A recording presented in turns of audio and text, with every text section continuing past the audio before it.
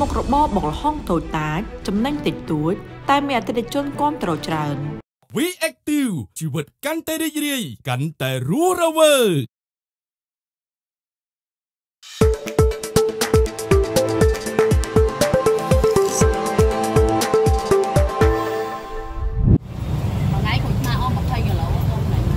មកបដារៀបរាប់បដា បុកល្ហុងគឺជាអាហារសម្រន់មួយប្រភេទដែលកំពុងតែពេញនិយមខ្លាំងនាពេលបច្ចុប្បន្នមិនថាក្មេងចាស់ប្រុសស្រីនោះទេ តែងតែចូលចិត្តទទួលទាននូវអាហារមួយមុខនេះដោយសារតែអាហារមួយនេះមានរសជាតិដិតឆ្ងាញ់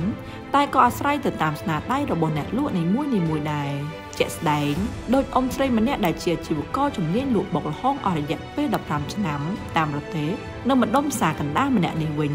ទទួលបានការគ្រប់គ្រងខ្លាំងពីអតិថិជនជាច្រើនដល់ថ្នាក់ចាប់លេខរងចាំ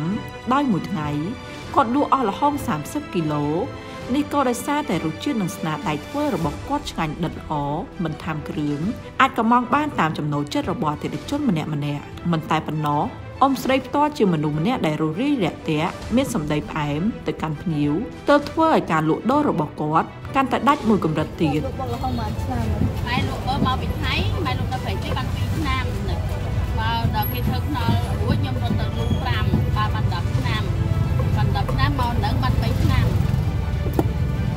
3 3ឆ្នាំចុងក្រោយរួមទាំងអស់5 10ឆ្នាំឯងទៅមិនខំលក់ពីលោកទេ